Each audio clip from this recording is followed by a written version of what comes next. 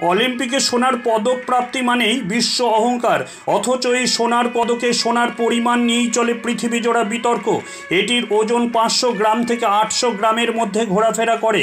উনিশশো বারো সাল পর্যন্ত এই সোনার পদক ছিল পুরোটাই স্বর্ণে পরিপূর্ণ।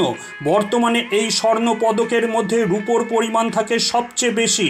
সাম্প্রতিক অলিম্পিকগুলিতে স্বর্ণ পদকের মধ্যে বিরানব্বই দশমিক পাঁচ শতাংশ রূপো, ছয় শতাংশ তামা ও এক দশমিক তিন চার শতাংশ সোনা থাকে। অজানা canvas and web news published from Kolkata